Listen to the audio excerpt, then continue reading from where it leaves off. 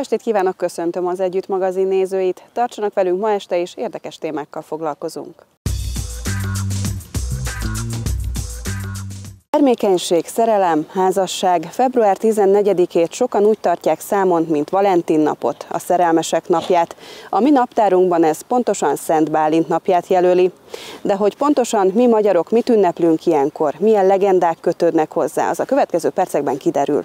Ez egy kifejezetten egy báli eszköz, amit a hölgyek magukkal vittek a bálba. Ez a jogászbál táncrendje még 1880-ból. Ebbe írták fel a hölgyek, kinek melyik táncot ígérték. A hetet hét játékmúzeum kiállításaiban fedezhetjük fel ezeket a régi emlékeket, a hagyományokat őrző tárgyakat. Azt saját kézzel készítették el. Nálunk főként a farsang, a táncházak időszaka a február, az angol száz Valentine's Day, magyarul Bálint nap ünnepe a 20. század végétől terjedt el a szerelmesek ünnepeként.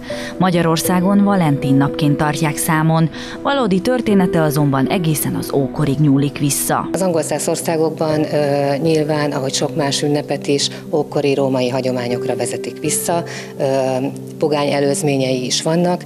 Ö, az ókori Rómában ö, egy Lupercalia nevezetű ünnep ö, kapcsolódott ehhez a naphoz konkrétan, ugye február 14-éről beszélünk, amikor is termékenységvarázsló szokásokat, rítusokat gyakoroltak, így egy tavasz köszöntő ünnep volt. De ugyanígy az ókori Görögországban, ahol pedig Jónó istennőnek a tiszteletek köré szerveződött, szerveződtek a rítusok, szintén február 14-éhez kapcsolódóan, és Jónóban tisztelték a, a, termékenység, a szerelem, a házasság ö, oltalmazóját, akit egyébként gránátalmával együtt ábrázoltak, ez is ugye a termékenységnek a jelképe, és ezekben az angol száz országokban, ugye Franciaország, Nagy-Britannia, ö, ezekre kifejezetten ezeknek a, a helyét ö, vette át, aztán később a Valentinus paphoz vagy püspökhöz kapcsolódó hagyomány vagy, vagy ünnep, tehát róla nevezték el a, a, az ünnepet, de hogy pontosan hogyan lehet azonosítani, ez egy nehéz kérdés, több Valentinusról is beszélnek, több legenda kapcsolódik hozzá,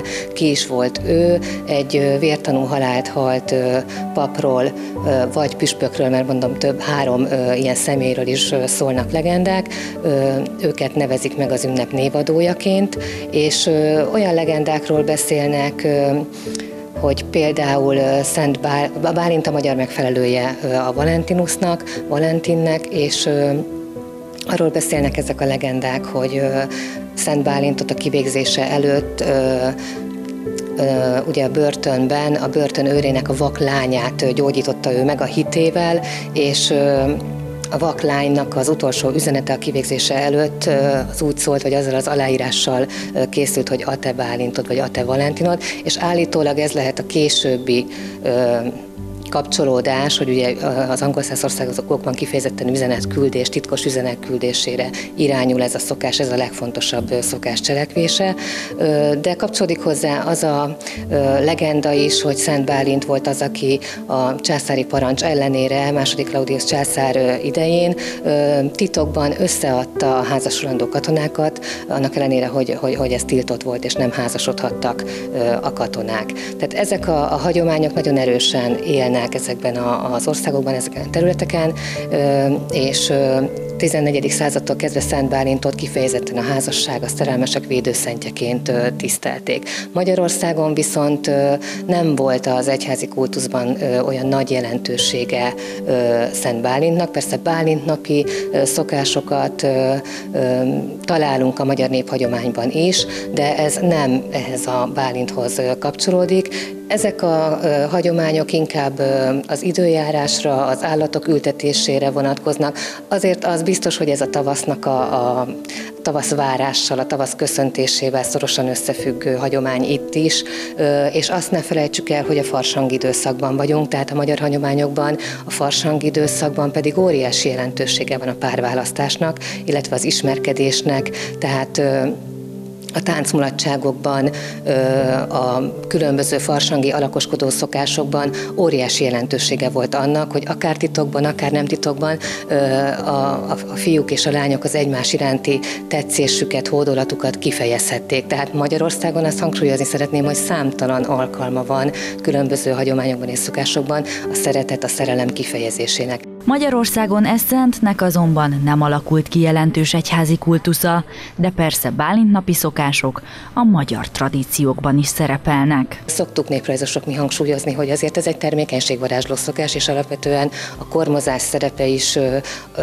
arra irányul, hogy, ö, hogy a lányokat, asszonyokat kormozzák be elsősorban éppen a termékenység elérése érdekében, és mondjuk ö, az a fiú, az a bohóc alakoskodó, aki képes a falu végéig kergetni egy lányt, hogy bekormozhassa, az nyilvánvaló, hogy a szeretet, a hódolata, a tetszés kifejezése is, amit egyébként nem biztos, hogy a, a mindennapi élet más alkalmain lent volna lehetősége, vagy lenne lehetősége kimutatni. A farsangi szokások, a farsangi időszak alkalmas arra, hogy ezeket az ember kifejezése juttassa. De beszélhetnék arról is, hogy például a húsvéti locsolás, amikor ugye a lányok tojásokkal ajándékozzák meg a férfiakat, a férfiak meglocsolják a lányokat, szintén a termékenység érdekében, és ebben szintén megnyilvánul az egymás iránti szeretet vagy tetszés kinyilvánítása. Nagyon érdekes párhuzam, hogy az angol száz országokban, amikor Bálint napi üzeneteket, leveleket, mert ott a leginkább az a szokás, hogy képes lapokkal fejezik ki ezt a, ezt a tetszést, és kis üzeneteket küldözgetnek egymásnak az emberek, és a lányok ezeket a kandalló párkányra kirakosgatják, és ez jelzi a, a, a, a közkedveltségüket, a másik nem körében. Ugyanígy az, hogy egy férfi mondjuk hány piros tojást gyűjt össze húsvéti locsolás alkalmával, ez egy ugyanilyen ö, ö, demonstrációja és tulajdonképpen annak, hogy mennyire közkedvelt a lányok körében, vagy egy lányt mennyire locsolnak meg, ez ugyanennyire ö, fontos, és ugyanígy jelen van.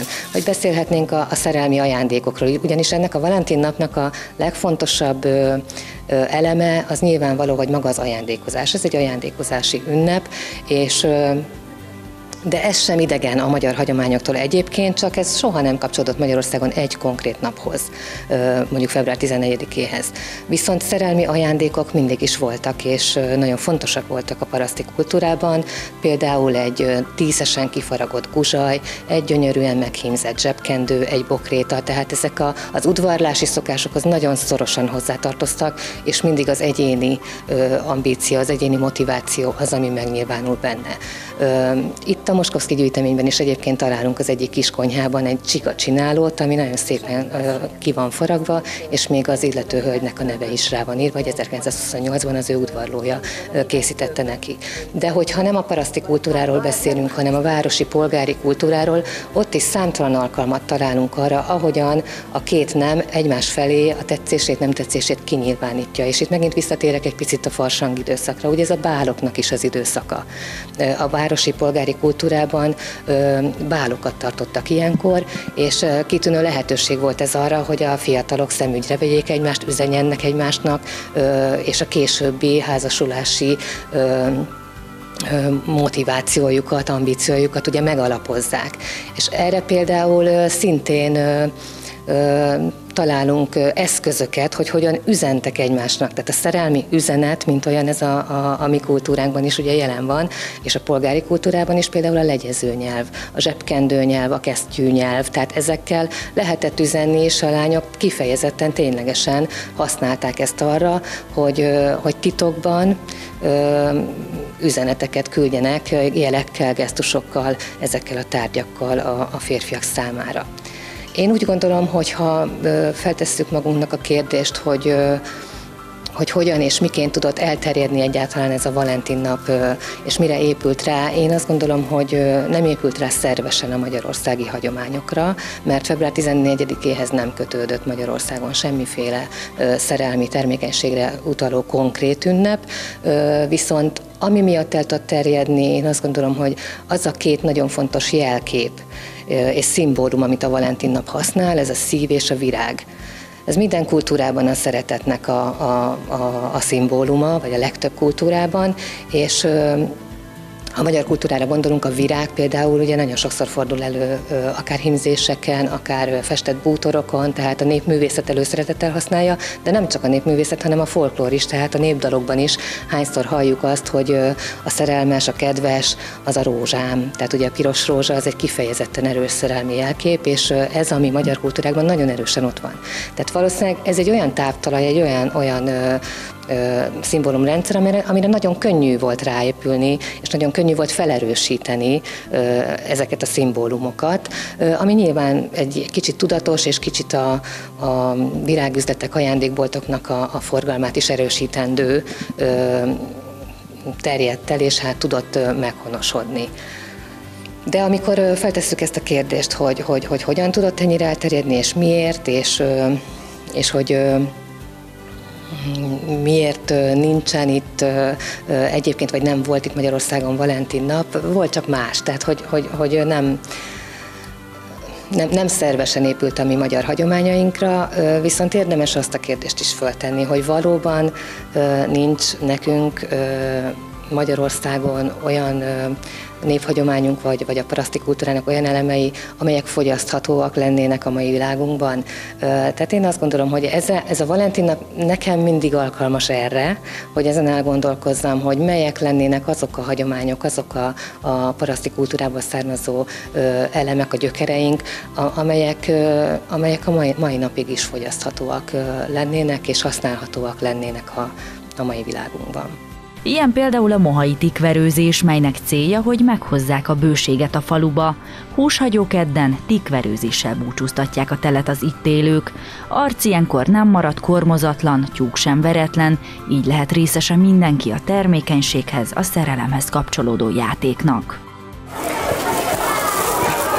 Magyarországon tehát nem feltétlenül a szerelmes üzenetküldés állt a fókuszban ezen a napon és ebben az időszakban, mindinkább a párválasztás, a gyermekáldás és a tél elűzése. Ezt követő a húsvéti ünnepkör, amelyben a termékenységre fókuszáló tojásgyűjtés is régi hagyomány, ekkor a lányok piros tojást ajándékoztak a fiúknak a locsolásért cserébe. Ez a hagyomány még ma is népszerű, de főként a falvakban. 45 éve ért véget a vietnámi háború, az ország és államunk közötti diplomáciai kapcsolat pedig 70 éve kezdődött. Az évfordulókra kiállítással emlékeztek a Nyitrai úti közösségi házban. Fotók és szobrok kaptak helyet a Nyitrai úti közösségi házban, amelyek Vietnámról, az ország látványosságairól, az élet bemutatásáról és a több évtizede történt harcokról szólnak. A tárlat képei az 1989 óta működő Magyar-Vietnámi Baráti Társaságnak köszönhetők. A Baráti Társaság hivatalosan 1989 óta működik, bejelentett társaságként, de ezt megelőzően azokból az emberekből, akik annak idején 1973-75 között Vietnámban, Dél-Vietnámban szolgáltak, maradt egy ilyen baráti viszony, és ez a társaságból alakult aztán hivatalossá 89-ben a társaságunk. Milyenek kell elképzelnünk Vietnámot, hogyan jellemezni? Hát ez nagyon könnyű egy szóval is mondani, hogy csodálatos ország. De egy kicsit bővebben, hát ugye maga a természeti szépségek azok, azok, azok valami elragadóak. Egy igen komoly nagy területen fekvő országról beszélünk, tehát egy észak-déli elhúzódó több mint ezer kilométeres hosszúságban, tehát a magas hegyektől kezdődően a 3000 kilométeres tengerpartig minden megtalálható. A dzsungel, a rengeteg virág, gyönyörű az ország maga. Itt ugye fényképeket is láthatunk ebben a teremben, ami kiállításra került. Mit lehet tudni ezekről a fényképekről? Mikor készültek, miket ábrázolnak? Egy néhány évvel ezelőtt egy csoportunk járt kint turistaúton Vietnámba, és végigjárták az egész országot, és ez alatt az idő alatt az ott a tagok, a csoportnak a tagjai készítettek fotókat. Ami az érdekessége, hogy tényleg a több ezer éves történelmet is megmutatják az országból, de ugyanakkor a mai életnek az egyes mozzanatait is bemutatják. A kiállításon a Farkas Aladár szobrászművész által készített 40 darabból álló sorozat egy részét is megtekinteti a közönség. Az alkotások Vietnám 60-as, 70-es évekbeli mindennapjait a harcosok édesanyák alakján keresztül érzékeltetik. Az édesapám rögtön a háború kitörése után akkor kezdte el készíteni, 64-65-ben, tehát rádióból hallott az eseményekről, és a vietnámi követségről kért fényképeket, hogy, hogy egy képe legyen a vietnámi arcokról. Ide a kiállításra 13 szobrot hoztunk el, és hát gyönyörűen el lettek helyezve. Szóval tulajdonképpen nagyon köszönöm ennek a közösségnek, hogy befogadták a kiállítást, és nagyon, azt láttam, hogy nagyon jól kiegészítik egymást a, a fotókkal. Hogyha a szobrokat nézzük, ezt a 13 szobrot egyenként, akkor, akkor miket ábrázolnak? A rendező, tehát a, a kurátor, Cseh Erzsébet egy, egy vezérfonalat talált ki, tulajdonképpen az akkori Vietnámnak a mindennapjait. Tehát van, vannak a, a harcosok, akik harcolnak, van egy Rizs Aratás nevű szobor, ahol, ahol egy női alak, és mellette, mellette a e, puskák, így, megy, így mennek tovább, és az egész történetnek a leges legmélyén, tehát a legtragikusabb, az a gyászoló anya, az egyik köz, központi tárolónak a legaljára, a legmélyebbre, tehát oda, oda helyezte el ez, ezt a gyászoló anyát. Ami nagyon érdekes, itt a két oldalon pedig külön ez a, az ikonikus szobor, ez az ikonikus állat Vietnámban a bivaj, Vietnámoknak ez a kedvenc szobra, és mellette itt, itt a másik oldalon, tehát itt a, a két oldalon, központi helyen pedig ez a, ez a jövőnek, a győzelemnek a szimbóluma, a vietnámi tavasz. Magyarország és Vietnám között 70 éve alakult ki a diplomáciai kapcsolat. Az esztendők során több mint 4000 vietnámi tanult ösztöndíjjal hazánkban. Országunk nagy szerepet vállalt Vietnám háború utáni újjáépítésében is. Az akkori kezdeti idők azok háborús idők voltak.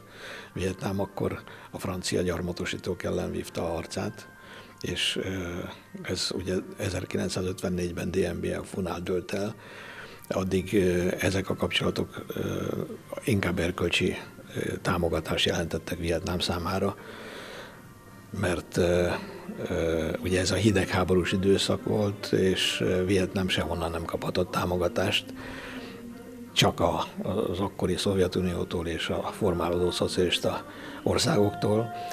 Nagyon nagy dolog volt ez akkor a vietnámiak számára, és hát az eltelt idő, aztán a háborús körülmények amerikaiakkal folytatott háború során, akkor már ugye anyagi támogatást és fegyvereket és ellátmányt kaptak ha ezektől az országoktól, tőlünk is. Majd aztán, amikor ez a háború befejeződött, 1973-ban, 75-ben pontosabban, mert 73-ban tűzszünetet kötöttek, de 75-ig tartó tovább folyó háború volt a dél-vietnámiakkal. 75-ben Saigon elestével szabadult fel az ország tulajdonképpen igazából, és onnan kezdődhetett el a békés építő munka. Most ez alatt a 70 év alatt mi Magyarország nagyon sok ösztöndíjas fogadott. Több mint négyezer vietnámi tanult Magyarországon, végezte itt a tanulmányait, és beszél magyarul Vietnámban. Úgy tartjuk most, hogy ez a, az a legnagyobb, a világon legnagyobb magyarul beszélő közösség, akinek nem magyar anyanyelve van. Sajnos fogyóban vannak, mert az idő telik, de ezek a, az érzések, ezek fantasztikusak, és ezek az emberek második hazájuknak tekintik Magyarországot. A háború befejezte után a Magyarország is nagyon sokat segített Vietnámnak, hogy talpra álljon és elinduljon a korábbi hadi üzemeknek a polgári célú termelésre történő átállítása.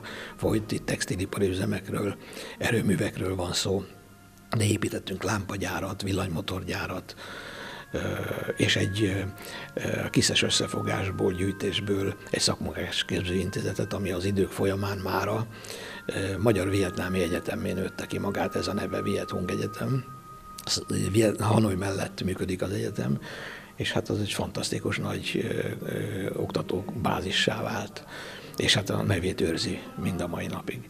Újra fogadunk most az utóbbi időkben ösztöndíjasokat, még az évente 200 magyar ösztöndíjast, és hát lehet mondani, hogy ez a magyar keleti nyitás politikája, ez meghozta a gyümölcseit, mert nagyon-nagyon gyors ütembe növekszik a két ország közötti gazdasági kereskedelmi kapcsolat. Jelentősek az eredmények, úgyhogy bízunk benne, hogy a jövőben is ez tovább fog fejlődni. Vietnám nagyon gyors ütembe fejlődik, sok tekintetben előttünk járnak, infrastruktúrális fejlesztésbe, mindenben, úgyhogy ez külön kiemelendő. Az utóbbi időben is több mint 200-an tanulnak Vietnámból Magyarországon ösztöndíjasként. A kapcsolat ma is jól működik. Tegnap érkeztem vissza egy hosszú út után Vietnámból. Azért mentem haza, hogy elindítsak egy sorozatot a magyar-vietnámi diplomáciai kapcsolatok felvételének 70. évfordulója alkalmából. A fotókból és szobrokból álló tárlat március 8-áig tekinthető meg a Nyitrai úti közösségi házban, ahol kedden este 6 órakor filmvetítés kezdődik Vietnámról. Hamarosan mobil applikáció és a hozzá tartozó internet alapú szolgáltatás segíti az autista gyermekek és felnőttek mindennapi életvitelét. Egy egyedülálló magyar fejlesztésnek köszönhetően valósul meg mindez. Egy rég várt fejlesztés valósulhat meg idén. Az akadálymentes életet biztosító mobil alkalmazást hétfőn városunkban is megismerhették az érdeklődők a Hotel Platánban tartott workshop keretében. Az Autisták Országos Szövetségének projektje több mint 450 millió forint Európai Uniós támogatásból valósul meg. A felhasználók örülnek a fejlesztésnek, hiszen számukra a kommunikáció és az önálló életvitel okozza az egyik legnagyobb nehézséget. Meg, meg tudom, ilyen digitalizálva az ilyen, ilyen napi kártya, mert van régebben használtam, és van egy napi rendi kártyánként tábl- táblázat, ahol mindig fel van sorolva éppen mit fogunk csinálni. Tornat, tornától kezdve reggelig. Jó dolog és szimpatikus nekem, hogy lesz egy ilyen applikáció. A hétköznapokon hogy tud egy ilyen applikáció segíteni, ha pár dolgot mondunk? Mert ugye mondta a napi rendet, de még mi mindent? Szerintem olyan papíra, mint a, van egy kollégám, a, nem, a nevet nem említek, de van egy kollégám, aki például nem tud egyáltalán beszélni, és a, például neki például az, hogy ki tudja fejezni például két WC papírt, meg ilyesmit, és akkor hogy hívják, és akkor, és akkor fel tudnak figyelni a segítők, hogy mi a helyzet, mit kér éppen, mire kell éppen neki a dolog, hogy nem tudja kifejezni, mert nem tud beszélni sajnos, és így ki tudja fejezni, kommunikáció, ki tudja fejezni a dolgokat. És önnek személy szerint mi az, amiben ez segítség lehet? Szerintem én nem tudom fejből, mert még, még, még, még újdonság nekem ez az applikációs menet.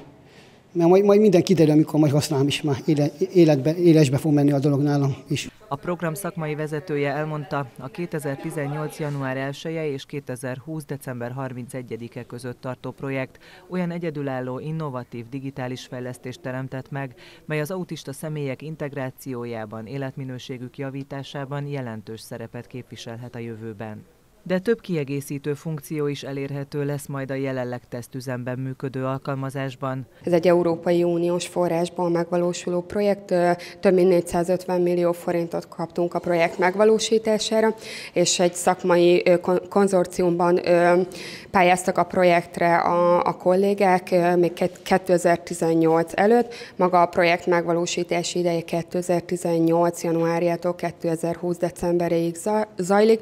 A konzorciumi partner az, aki a szakmai hátteret biztosítja az Ötös Lórán Tudományi Egyetemen, az MTLT Autizmus Szakmódszertani Kutatócsoport, akik ezt megvalósítják, és így jött létre a projekt.